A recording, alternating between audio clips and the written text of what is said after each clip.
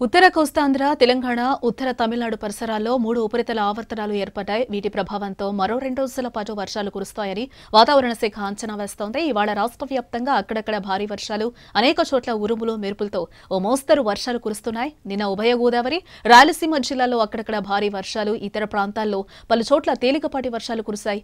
వర్షాలకు నదులు వాగులు వంకలు పొంగిపొల్లుతున్నాయి లోతట్టు ప్రాంతాలు జలమయమయ్యాయి. కొన్ని ప్రాంతాల్లో పంటలు నీట మునిగాయి.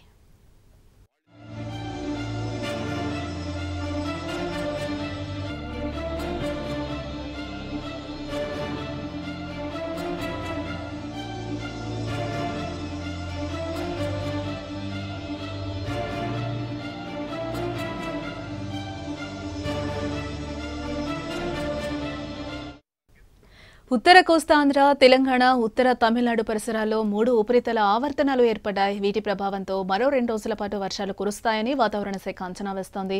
ఇవాళ రాష్ట్ర వ్యాప్తంగా అక్కడక్కడ భారీ వర్షాలు అనేక చోట్ల ఉరుములు మెరుపులతో మోస్తరు వర్షాలు కురుస్తున్నాయి. ఇక ఇదే అంశానికి సంబంధించి మరింత సమాచారం మా ప్రతినిధి గణేష్ అందిస్తారు. గణేష్ చెప్పండి ఈ వర్షాలకు సంబంధించి పూర్తి డీటెయిల్స్.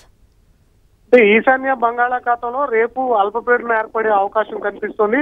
మరో పక్క ఉత్తరాంధ్ర అదేవిధంగా దక్షిణ ఒడిశా తీరంలో ఉపరితల ఆవర్తనాలు ఏర్పడడంతో ఆంధ్రప్రదేశ్ వ్యాప్తంగా కూడా భారీ వర్షాల నుంచి మోస్తారు వర్షాలు కురుస్తున్నాయి. ఇప్పటికే గత రెండు రోజుల నుంచి రాష్ట్ర వ్యాప్తంగా వర్షాలు కురవడంతో చాలా చోట్ల రోడ్లు అదేవిధంగా కాలువలు నదులు కూడా జలమయమయ్యాయి.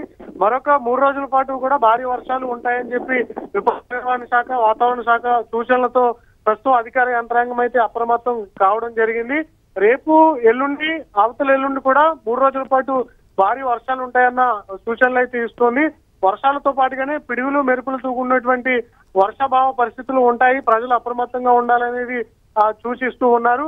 రేపు శ్రీకాకుళం విజయనగరంతో పాటుగానే విశాఖపట్నం తూర్పు గోదావరి పశ్చిమ గోదావరి ఐదు జిల్లాల మీద ప్రభావం ఉంటుంది అని చెప్పి వాతావరణ శాఖ చెప్తుంది.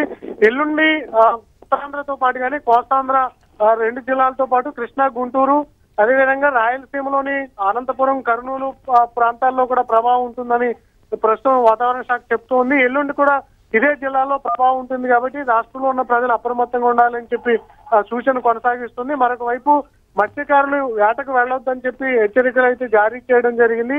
ఎందుకంటే రేపు అల్పపీడనం ప్రభావంతో సముద్ర తీర ప్రాంతంలో ఆ, కొన్ని కెరటాలు ఉయెత్తున ఎగసిపడే అవకాశం ఉంటుంది. గంటకు నలభై ఐదు నుంచి యాభై కిలోమీటర్ల వేగంతో గాలులు వీచే అవకాశం. ఉన్నటువంటి నేపథ్యంలో మత్స్యకారులు వేటకు వెళ్ళొద్దన్న సూచన అయితే కొనసాగుతుంది.